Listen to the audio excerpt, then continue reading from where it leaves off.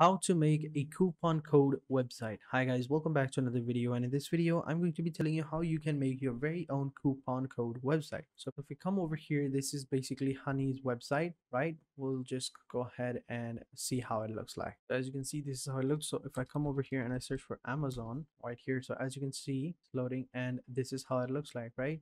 So we have a bunch of different ones over here and it's really really simple. Like as you can see it's pretty simple. It just has a bunch of different things over here. And if I come over here and click on Apple, and this is how it basically looks like.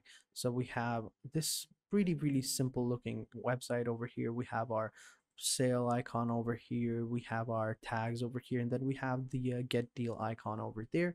It's really simple it's really easy. So this is what we're trying to create here. So let's go back to our dashboard and what we're going to do is we're going to go ahead and install a bunch of different plugins because these plugins are very very useful so that we don't have to do that. So we're going to go into the plugin section and click on add new and we're going to add uh, some advanced custom fields. As you can see this is the plugin right here acf advanced custom fields we're going to go ahead and do that.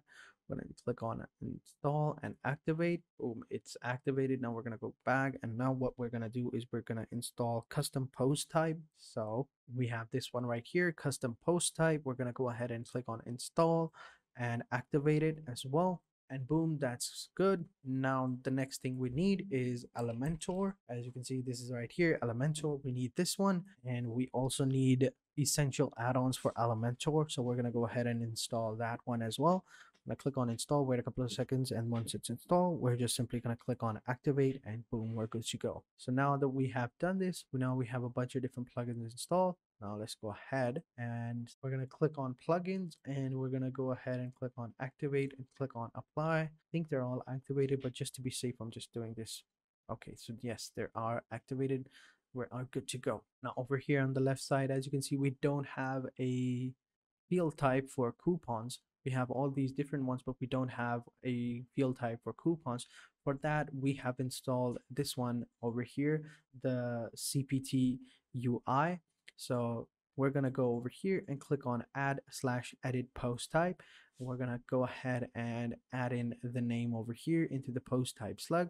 We're going to call it coupons and this is going to be plural label so we're going to add plural over here then we're going to add a singular over here. Singular label coupon coupons and coupons and once that's done we're good to go and then what we want is we want to scroll down we're at the very bottom. As you can see don't worry about all of this you can leave it blank it all depends on you uh, you don't have to it's just a bunch of different options.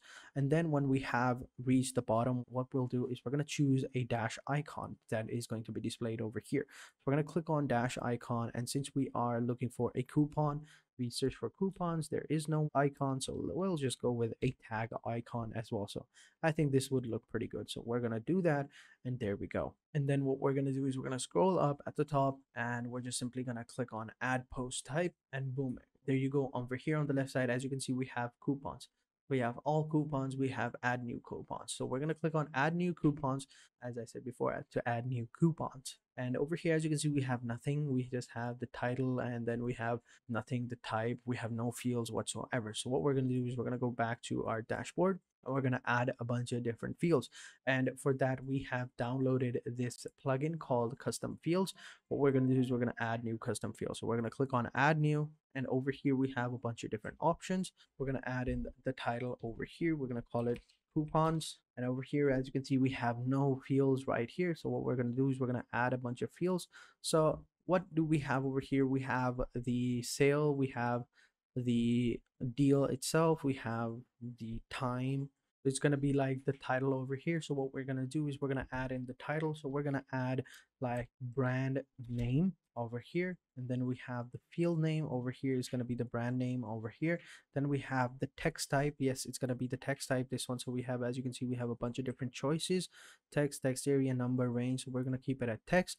And is this required? Yes once that's done we're good to go then we're gonna go ahead and then we can add another field over here. Once that's done we can say that it is an image over here. So we'll just say image right field name image and then the field type will be image and then is it required? Yes. We can just you know keep the image size medium. We don't have to change it.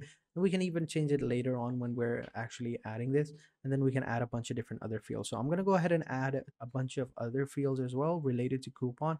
So we have the name we have the uh, image and next what we're going to do is we're going to add in the coupon code itself and the valid date as well. And then once that's done we can move on. So i'm going to go ahead and add that and i will catch you guys in a little bit. Okay so next as you can see i've added uh, two more and we are done with the fields. Now what we're going to do is we're going to add a rule. So what is this and how is it going to you know be applied to? So we have the post type is equal to what we're going to do over here is we're going to choose coupons. So these fields are only you know uh, applicable to the coupons over here. So once we've done that we are good to go. So now what we're going to do is we're going to go back at the top and just simply click on publish and boom, there you go. So we have these fields over here that we have the brand name, the image, the code, the date valid and star ratings and stuff like that.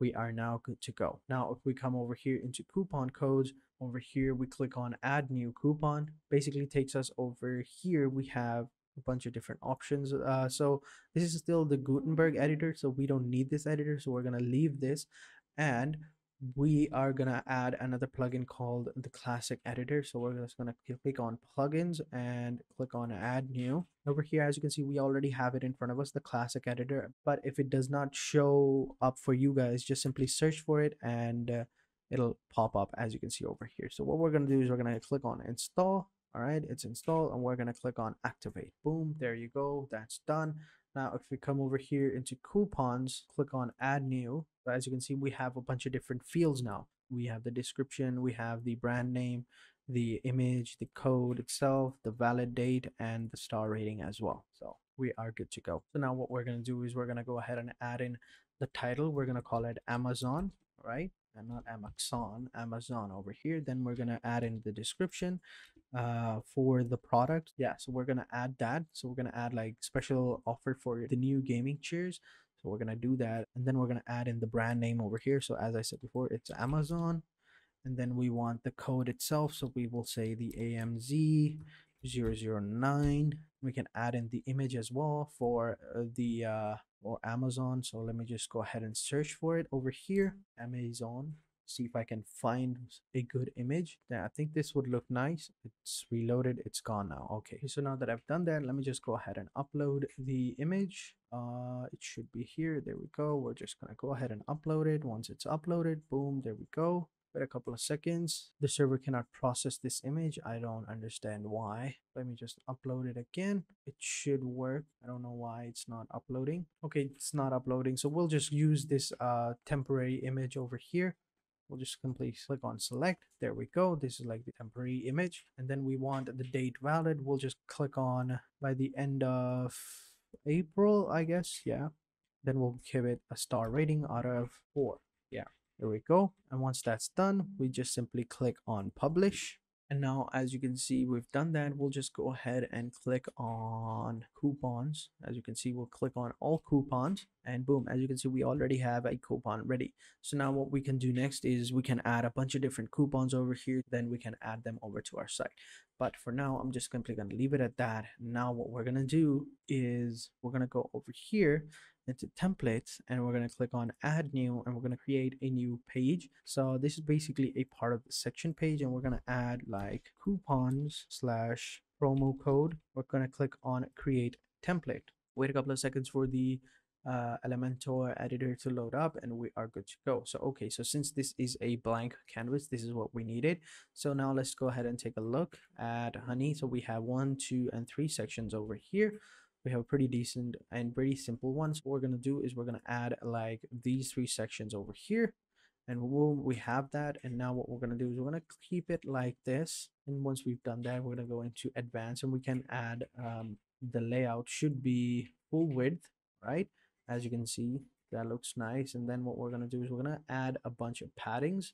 So maybe to the left, like 20% and then 20% on the left as well. So yeah, looks nice actually. Maybe let's go with 40 yeah 40 would look nice. Yeah it looks really nice. Now we're good. We're gonna go back and boom there we go. So if we come over here so this is how it looks like. We have sale when we have the tags and stuff like that. So we also want the logo. So what we're gonna do is we're gonna add an inner section but we don't. We're gonna add like an image over here. Boom there we go but we don't want this one this type of image. So what we want is we don't want this image to load manually. We want this image to be loaded dynamically. So we're going to click on dynamic and we're going to click on set in action. Since we've loaded the image now what we're going to do is we're going to add in another text over here. We're going to add a heading all right? And then what we're going to do is we're going to add a text editor over here like a description at the bottom.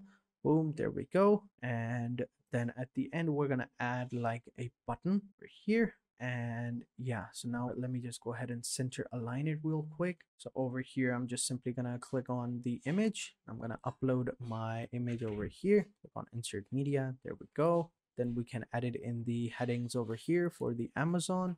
We can also try dynamic tags but as of right now it's not working.